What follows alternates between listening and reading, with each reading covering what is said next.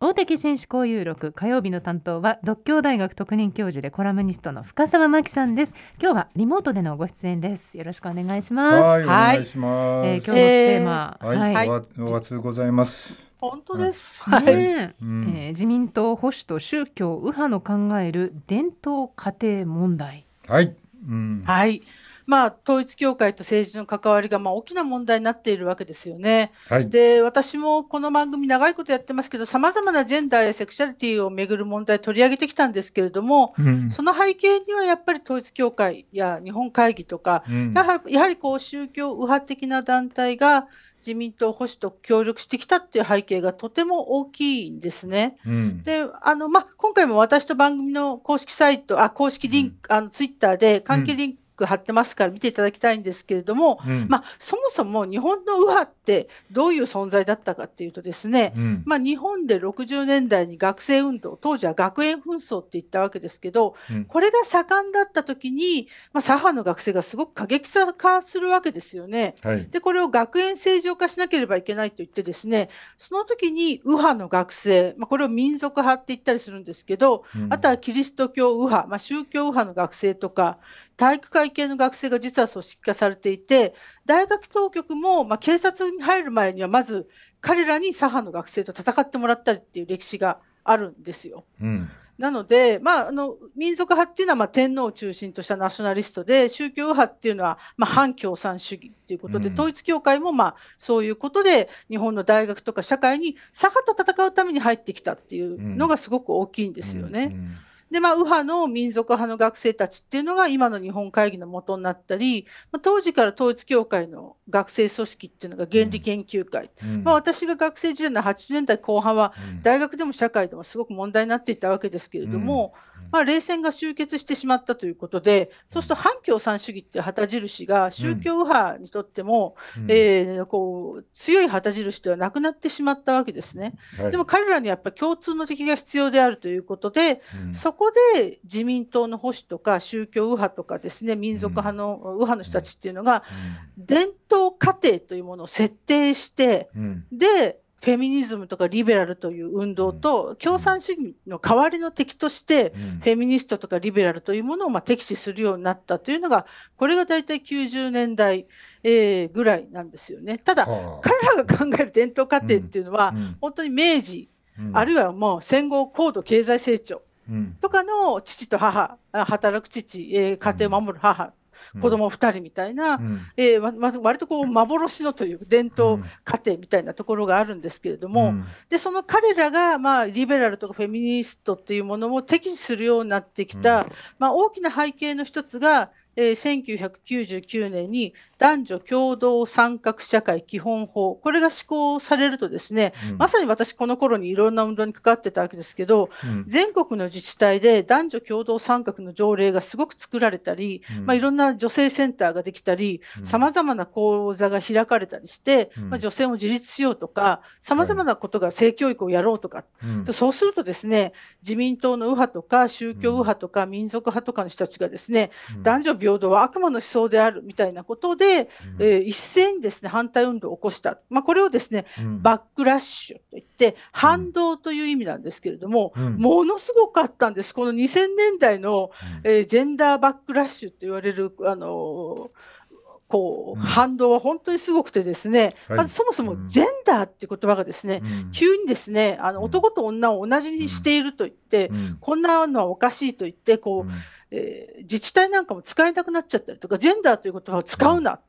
ただただの社会的な性差、文化的な性差というだけの意味の言葉なんですけど、うん、ジェンダーという言葉を使うのはもうもう極端であるとか、うん、男女平等というのもまあおかしいんだっていうことを言ったり、うん、特に問題だったのは本当に性教育がバッシングされたということで、あの実は2000年の初期っていうのはさまざまな性教育が日本の学校で行われてきたわけですけれども、そこをですね一気にこの性教育が過激であると、性教育なんかしなくていいんだということで、今でも日本の性教育が進んでないのは、20年前にこの自民党右派とかですね、宗教右派がバックラッシュ運動をですね、ものすごく盛ん、本当にすごかったんですけれども、しかもこの彼らの運動がすごかったのは、中央、政府だけではなくて、地方の運動がすごかった。これが意外と知られていないんですけれども、はい、でこれをですね、取材した本っていうのが、10年前に軽装処方から出ている、社会運動の戸惑い。で、サブタイトルがフェミニズムの失われた時代と草の根保守運動、これあの、荻上チキさんとか、斎、うん、藤正美さん、山口智美さん、うん、えー、このバックラッシュの問題、特に地方における草の根保守と呼ばれる人たちが、男女平等とかですね、うん、えー、性教育という運動をいかにして潰してきたかという、これ本当にですね、日本中でこういう運動が草の根の保守の人たちが、うん、えー、運動してきた、まあ、この本、今話題になってて、増刷されるそうなので、これ、本当ね、すごい本なので、いかに日本で、うん、えー、男女平等や性教育というものが悪魔化されてきたかということがとてもよくわかるんですよね。えと本の、はい、本のタイトルをもう一度お願いします。はい、はい、社会運動の戸惑い、軽装処方です。うん、はい。これはね、名著です。本当にね、チキさんとかの、修論か白論かなんかも元にしたものが入っていたりして、あの今読んでも非常に資料性が高い本なんですが、でこれが地方で草の根保守という人たちが、えー、地方議会とかに訴えて、男女共同参画。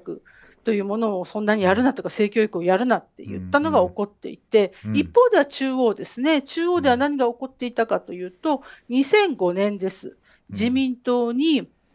過激な性教育、ジェンダーフリー教育、うん、実態、えー、調査プロジェクトチーム、これ、小泉政権の時です。小泉政権の時に、幹事長だった安倍晋三さんが座長となって、うん、山谷恵理子さんが事務局長となって、うん、もうここで国会でですね、こんな性教育をやってるんですよって言うとね、小泉首相がニヤニヤ笑いながら、僕たちは性教育なんて受けてないけど、なんとなくいろんなこと覚えましたよね、わはは、わはは、こんなこと学校で教える必要はありませんよとか、うん、そんなことを国会で2005年当時には行われてきていて、さまざまな性教育の副読本とか性教育のやり方について、こんなこと許していいんですか？ということが、うん、ちょっと当時もね、さすがにメディアでは話題になったんですけど、うん、メディアもね、どちらかというと、過激な性教育が行われているという論調のところもすごく多かったんです。2005年の段階でも、まだそういうようなことが起こっていて、うん、日本だけがまあ性教育というものを中央からも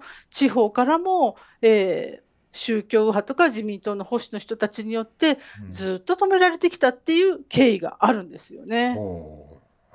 ちょっと恐ろしいですよね。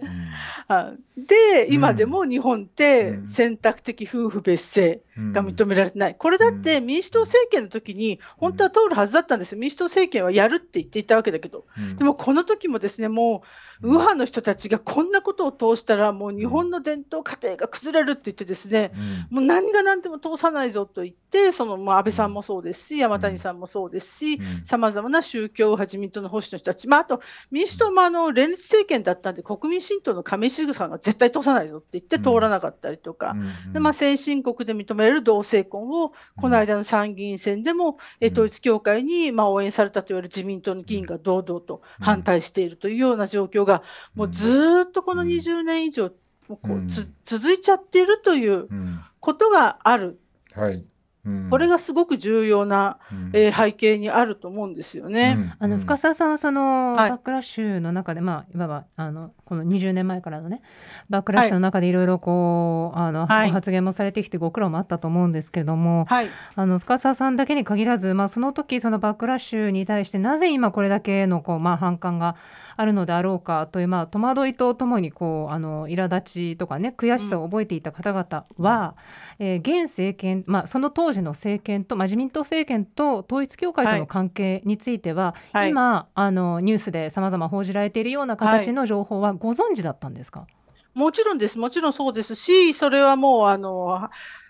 発言はしていましたけれども、なかなかやっぱり あの陰謀論みたいに聞こえるんですよね。あじゃあ当時はまともに取り上がられなかった。もちろんです。はい、だからフェミニズムとかリベラルの運動をしている人たちにとっては宗教右派の人たちにこれが潰されているということは分かっていたけれども、うん、とにかくねメディアが興味を持ってくれたかくれなかったのが一番大きかった気がしますね。じゃあマスメディアの人からはあなんか陰謀論言ってるな、はい、あの人たちがっていうふうに見えていた。そういう感じです。ただ、だからすごく心配してるのは、逆に今、急に統一教会が自民党を支配してるみたいな、うん、それはそれで陰謀論になってしまうので、うん、別に統一教会のことを今まで隠されてきたわけではなくて、ですね、うん、自民党保守にとって、伝統家庭とかですね、性教育に反対するとか、そういう形で国民をまあ支配する方が、憲法改正とか、やっぱり政策が動きやすくなるんですよ。だからまず女性を支配する、家庭を支配する、そうすると社会が支配しやすくなるので、だから日本会議とか統一教会の右派の掲げる政策が、えー、自民党の保守の人にとって近いから、協力関係が続いていたので、別に統一教会に自民党が支配されているというほどの力は少なくとも、あのあの戦後は知りませんけれどもね、今ではそこまでの、もうやっぱり自民党のバックで一番強いのは経済団体ですし、経済団体だってやっぱ伝統家庭の方がいいと思っているわけだから、そういうさまざまな思惑のある中で、今、統一教会との関係が過剰にあの語られすぎているんだけど、そうじゃなくて、日本の中で、えー、こういう問題が置いてこられたということは、政治だけじゃなくてメディアも含めて、なんかジェンダーの問題とかセクシャリティの問題ってどうでもいいよね、経済に関係ないよね、みたいなふうに置いてかれたことが、えー、今やっと顕在化してきたんじゃないかなというふうに長年問題に関わってきたものとしては、えー、思っています。でもあれですねまあそのそこら辺のことはなんかこう、まあ、新旧の自由もあるし、はい、まあ、言ってみればその辺はあのそういう主張をなさるのは全然構わない。ただ、はい、それが今回の場合は、えー、宗教の問題じゃないと。政治と不法行為を繰り返す団体の問題だっていうふうに、はい、あのなってきてる、はい、でそうなってくるとそのなんか昔のそのなんていうの？こう右派の人たちの考えてる意見とあの宗教団体の考えてる意見が一致でもそこは問題ないわけですよね。はい、はい、あの思想の問題ではな,、なないわけですね。だからもちろん、今回の問題はその思想とかそういうことじゃなくて、はい、この不法な行為を繰り返す団体の問題っていうのは、それがあの政治にどう関わってきたかっていう、そこが焦点ですよね。はい、ですから、その問題はその問題できちんとこれから解決していかなければならないし、うん、一方で、なぜ自民党の保守の人たちがさまざまな右派の力を借りて、うん、えー、こういう社会を作ってきたか、例えば、アメリカなんかは今、中絶が一見となっていて、宗教右派がこう政治に与える影響はすごく大きいわけですね。日本はそこまでではないんですけれども、ただ一方では、自民党の中でも若手を中心に、伝統家庭っていう発生では、社会が動かなくなるって考えてる議員は本当に多いんですよ、実は。なんだけども、結局、上の人たちがこの方が楽だからといって進んでいる、そうすると、さまざまな社会の中で多くの人たちは、えー、右派の人たちが考える伝統家庭にはもうリアリティがないことが分かっているわけで、えー、そういうことを今回明らかにしていって、みんなで学んで、改めてメディアも含めて、政治も含めて、経済界も含めて、伝統家庭というようなことで思考停止をしないで、えー、行こうよということが今回考えていかなければいけないもう一つの、うん、えテーマなのかなと、カルトという問題、ね、うん、反社会的なカルトという問題とは別に、右派が考えてきた伝統家庭家庭という幻想があることで、私たちの社会が進んでこなかったわけですから、それを今回を機にですね、改めて見直していこう。特に自民党の若手の人は、実は誰よりも分かってるわけですよ。これが通らないのは右派の人たちが止めてるからだな。でもしょうがないって諦めているわけで、これを機にですね、彼らにも声を上げていってほしいと思ってるんですよね。まあ、その伝統の家庭家族みたいなことは、はいもう何ですか？あの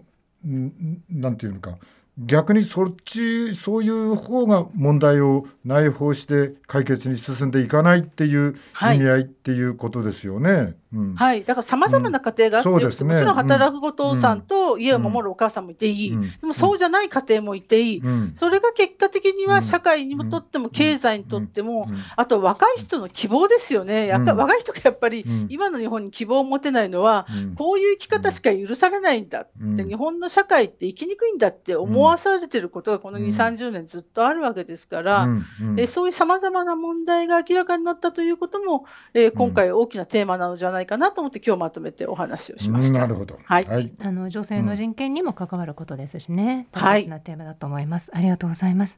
えー、大竹紳士交友録今日の担当は深澤真紀さんでした。ありがとうございました。ありがとうございました。明日の担当は北郎さんです。